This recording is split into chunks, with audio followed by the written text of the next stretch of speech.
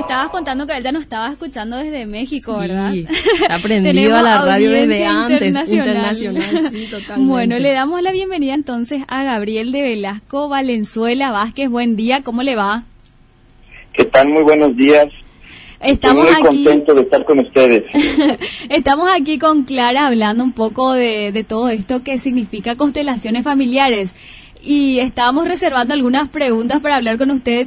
Y de hecho que ya estábamos también hablando un poco de- del apellido tan largo que lleva. y me decía Ah, Clara, eso. Gabriel te puede contar también, porque acá en Paraguay Claro, utilizamos... Exacto. Porque en Paraguay usamos algo que se llama, como los apodos, le decimos marcantes. Yo le decía a, a Clara, pero este va a ser el marcante. Él me dice, no, no, no, esto tiene otra historia. O sea que hay que Claro. ir abriendo un poco los ojos ante situaciones que Sí. muchas veces desconocemos y que sí tienen explicaciones, ¿verdad? Y eso es justamente Sí, me lo encanta que compartirlo porque es parte de es parte de mi proceso personal. Ujú. Eh, yo conocí a mi padre biológico a los 29 años, cuando ya tenía yo un proceso también avanzado en, en mi carrera como terapeuta y al conocer constelaciones familiares me di cuenta de que era necesario incorporarlo también a él en mi nombre. Entonces, eh, de esta manera le abro un espacio a la persona que me dio la vida junto con mi madre y por eso lo incorporo dentro de mis apellidos. Y también le doy un lugar a la persona que me crió, a mi, a mi padre de, de crianza. Entonces, de esa manera, pues todos están incluidos, porque constelaciones familiares se trata precisamente de incluir. Las exclusiones causan crisis, causan caos en el alma de las personas y en el alma de las familias. Entonces, eh, la invitación es a incluir, a no excluir y a tratar de tener orden dentro de nuestros sistemas familiares. Las familias, las empresas, cualquier organización tienen un alma. Bergelinger lo descubre y lo podemos ver claramente en las constelaciones cuando ponemos un representante del alma de una institución o de una familia, cómo se empieza a mover y nos aporta mucha información muy valiosa para la resolución de cualquier conflicto. Perfecto. Y estábamos hablando también, Gabriel, de, eh, de los términos que se utilizan, ¿verdad? Porque eh, al llegar Clara, yo le digo, pero Clara, las constelaciones que de las que ustedes hablan tienen que ver algo con el espacio, con la luna, ¿o de qué se trata? Y me dice ella, me Fíjate estaba que tratando de explicar un poquito, pero queremos hablar también contigo para profundizar un poquitito más en lo que es realmente constelar, ¿verdad? Sí, el vocablo lo tradujeron al español como, tra- como, como constelación cuando en realidad se trata de poner orden. ¿sí? La, la palabra en alemán nos habla de posición o de lugar, de poner orden. Y lo tradujeron en español como constelación, me parece que refiriéndose precisamente a lo que podemos mirar en la naturaleza o lo podemos ver en el universo, que en sí mismo también es un sistema. Mi cuerpo es un sistema, mi relación de pareja es un sistema, la familia que yo configuro con mi esposa y mis hijos es un sistema, y tengo también un sistema de origen que es mis padres. Entonces, si miramos el universo donde están todos los planetas girando alrededor del Sol, si nosotros quitáramos uno de los planetas, automáticamente habría un caos en ese sistema. Eso es lo que sucede también en cualquier familia o en cualquier organización. Cuando excluimos, cuando quitamos, cuando negamos, cuando rechazamos a un miembro del sistema, empieza a haber desorden.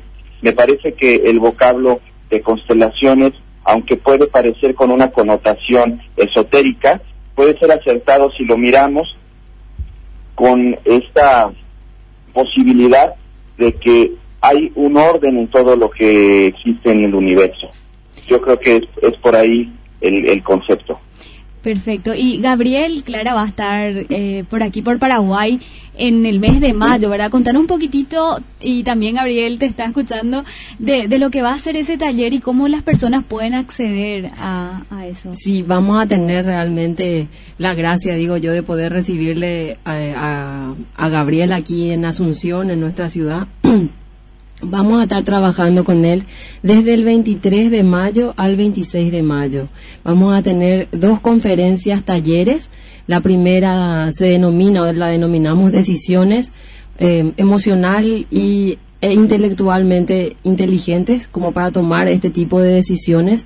Va a ser una conferencia basada en el pensamiento sistémico y las constelaciones familiares y vamos a tomar casos del público presente para poder resolverlo allí in situ, como para que la gente pueda entender la dinámica de trabajo. El día 24 de mayo, que es un viernes, vamos a tener otra conferencia, taller que se llama Coaching Familiar, donde justamente vamos a hablar de todos estos cambios bruscos de repente que las familias este, sufren y que necesitan reacomodarse. Y de vuelta vamos a tomar casos del público presente para poder resolverlo allí también de manera que la gente pueda salir ya con una resolución de, sus, de su problemática. Y sí, nuestro evento central, por decirlo de una manera, es un taller muy hermoso que se llama Abriendo Alas, que va a ser el sábado 25 y domingo 26 de mayo. Son dos días, es un proceso vivencial. No solamente vamos a trabajar con constelaciones familiares, sino que también con otros ejercicios que van, este, mostrándonos estas situaciones internas y bueno, eh, dándonos también la posibilidad de solucionar aquello que quisiéramos solucionar. Y allí sí vamos a trabajar basado en constelaciones, es decir, la gente que asista puede este, constelar, presentar su problemática y bueno, llevarse una solución a casa. Gabriel, ¿qué estás preparando en tus maletas para la para los que asisten a esto? ¿Qué, ¿Con qué se van a encontrar asistiendo a estos en el, sí, en, en el primer evento que vamos a tener, que es la, el seminario, que es el taller vivencial, vamos a entender profundamente qué es el pensamiento sistémico, cómo se genera desde la teoría general de sistemas de Bertalanffy hasta llegar a ver Hellinger, a Gunther Weber, a Jan Jacob, a Raguana Hayashi, a muchísimos autores que hoy están muy profundamente eh, involucrados en el pensamiento sistémico. Vamos a hacer ejercicios sistémicos vivenciales. Hay una frase que a mí me encanta de Claudio Naranjo que dice que información que no pasa por el cuerpo no es aprendizaje. Entonces vamos a llevar el aprendizaje hacia los ejercicios vivenciales. La aplicación de las configuraciones sistémicas en la familia. Vamos a ver también la historia, el contexto de los nuevos avances de constelaciones familiares, porque déjame decirte que esto está avanzando a una gran velocidad. No es lo mismo las constelaciones familiares que se practicaban hace 10 años, hace 8 años, hace 5 años, que lo que hoy se está haciendo. Eh, dice Matías Varga que hay más de 100 maneras de constelar. Hay unos avances impresionantes en el trabajo sistémico. Vamos a abordar también esto. Y vamos a, trabajar también con casos reales, como bien dice Clara, ¿no? Y en el siguiente evento, que va a ser el de coaching familiar, que lo llamamos la gerencia del amor y la inteligencia, porque hoy por hoy existe ya una inteligencia transgeneracional, no solamente la inteligencia que ya es bien conocida como la inteligencia emocional, sino conocer que soy parte de un sistema y que como parte de ese sistema, ese sistema tiene un destino y que si yo lo miro, lo reconozco, lo agradezco y lo honro, se puede transformar. Entonces, a través de las herramientas del coaching, a través también del pensamiento sistémico de constelaciones familiares, vamos a tener este, este abordaje hacia las familias, donde vamos a tener también la posibilidad de mirar eh, algunos casos prácticos con constelaciones ahí mismo, ¿no? Y por último, en el taller que es más largo, que es el de Abriendo Alas, donde vamos a trabajar para cerrar situaciones no resueltas, eh, vamos a tratar eh, temas que tienen que ver con la sanación de las relaciones para vivir en armonía, aprender a entender lo que haces y cómo lo haces para tener una autorresponsabilidad, a desarrollar nuestra inteligencia, decíamos, emocional y transgeneracional y tomar conciencia también de nuestro cuerpo. Vamos a hacer algunos ejercicios psicocorporales que nos van a llevar también al arraigo, a tomar tierra, a estar presentes en el aquí y ahora. Es un trabajo hermoso que Centro Constela lleva ya eh, trabajando eh, más de ocho años como, como parte del trabajo en constelaciones, más la experiencia que tenemos ya de bastantes años como terapeutas psicocorporales que se integran de una manera hermosa. Eh, estabas hablando un poquito de, dándonos el dato de cuántos años llevan trabajando ya. Y como decíamos con claro, o sea, esto es muy nuevo todavía en Paraguay, ¿verdad? ¿Vos podrías contarnos un poquito de dónde nace esto, cómo fue que surgió, a raíz de qué, y, cómo se va desarrollando? O sea, dijiste que lleva ocho años, yo no sé si en México o en todo el mundo. O sea, bueno, en, México ya existe más desde hace más tiempo.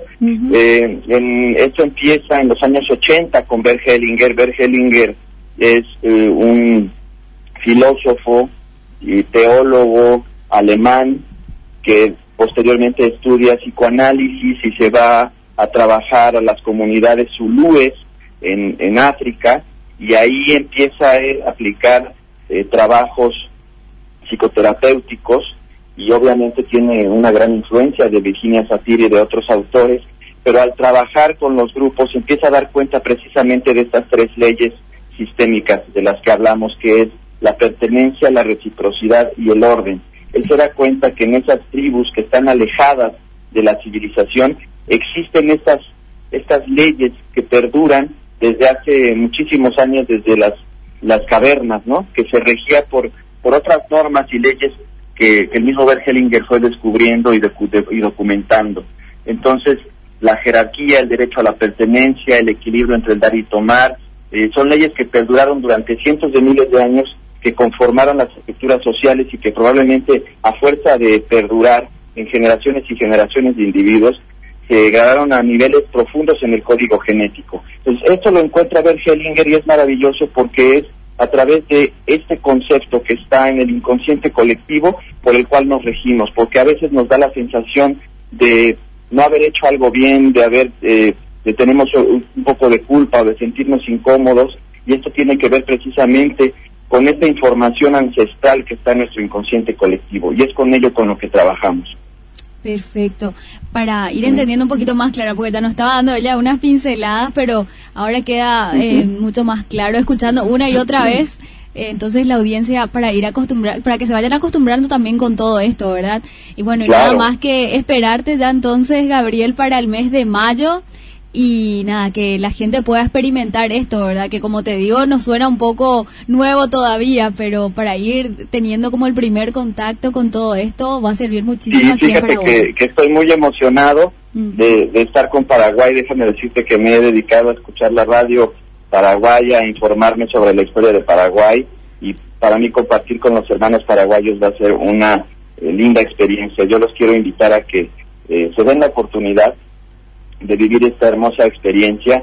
Eh, la gente, por lo regular, nosotros aplicamos encuestas cuando salen de nuestros talleres y tenemos un promedio de calificación entre 9.5 y 10.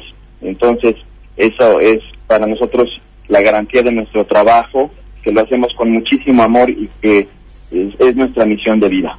Bueno, muchísimas gracias aquí, Clara, también aprovechar y hablarle un poquito a, a Gabriel. Bueno, Gabriel, estamos, a ver, haciendo de todo lo que podemos aquí en Paraguay para que esto llegue a la mayor cantidad de personas y que, bueno, puedan salirse con esta experiencia que, que yo sé que es transformadora. Y te esperamos con los brazos abiertos. Eh, él tiene una energía maravillosa del primer momento que hemos entrado en contacto y será maravilloso tenerte, bueno, aquí en nuestra tierra. Te mando un abrazo grande y éxito con el taller en Guadalajara. Ay, qué lindo, muchas gracias. Y les voy a mandar también un saludo aquí a toda la gente de Guadalajara con la que estamos trabajando. Y mi corazón ya está en Paraguay. Les mando un abrazo a todos. Bueno, un abrazo también, Gabriel. Entonces.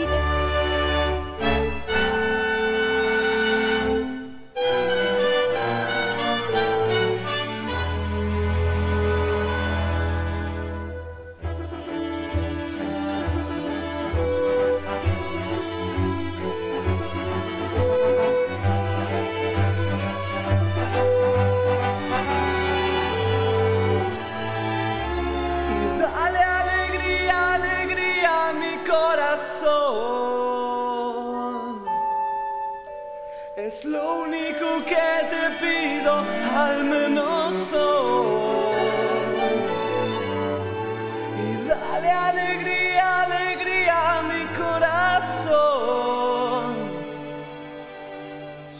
Afuera se irán la pena y el dolor. Y ya. Ya verás. Las sombras que aquí estuvieron no estarán. Y ya, ya verás que no necesitas